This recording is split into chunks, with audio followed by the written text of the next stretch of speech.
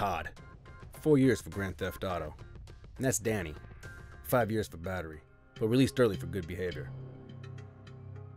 And him, Joey, that's Charlie's nephew. Poor kid is hanging with the wrong crowd.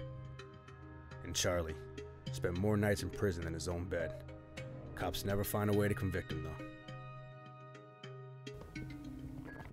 So this broad had $60 to her name. So she says. So, what'd you do? What'd I do? I took her $60 and her car. you kidding me? It's not my fault her husband left her without a thing. Jesus, you are such a prick, Todd. Kid's got a point. You're all kinds of crazy. Yeah, yeah, yeah. I've known you two to do a lot worse. Remember a couple weeks ago when we knocked off those yuppies? You know what I'm talking about. July 19th, our 20th anniversary. What the hell were you thinking, huh? What were you thinking? Where's your brains? This was supposed to be a simple grab and snatch operation. No big deal. And when the hell did you start packing heat on the job? Listen, they did it themselves. They were supposed to go to the safe and get out. How about Joey over here? We're roughing him up a bit, huh? Charlie? You taught him well. They tied us up, blindfolded my wife, then beat her to death. That broad would not shut up.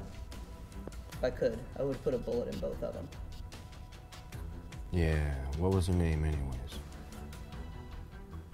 Michelle. Marie, my wife Marie. So, Charlie, what's up?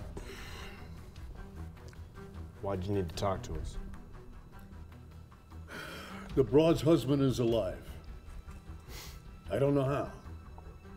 I don't know where. And I don't know who he told about us. I told you, we needed masks, Todd. Did you see all that blood? How does some regular old Joe take a beating like that? I mean, I should have put it in a bullet in their head when I had a chance. My friends on the inside told me it was an inside job. He did 10 years overseas in the Marine Corps or something. Special Forces. 10 years of living in the dirt, tinkering with wires, and dismantling IEDs. Now, we gotta find this guy and finish him off. You know what I mean? They're probably gonna put his ass in the witness protection program. I'll make some calls. Maybe we can find out where he's at.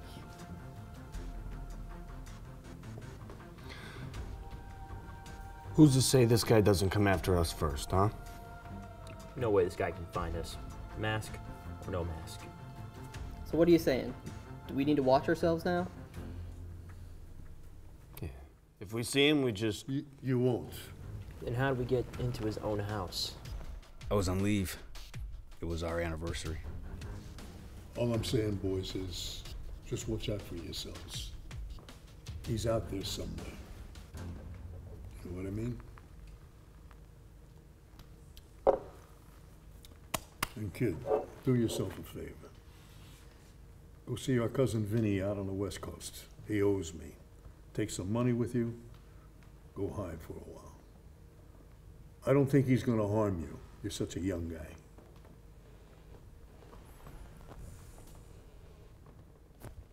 What about us?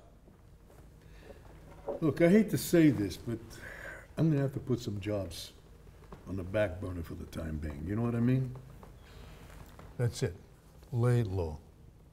So, we're just supposed to roll over and let this guy come get us?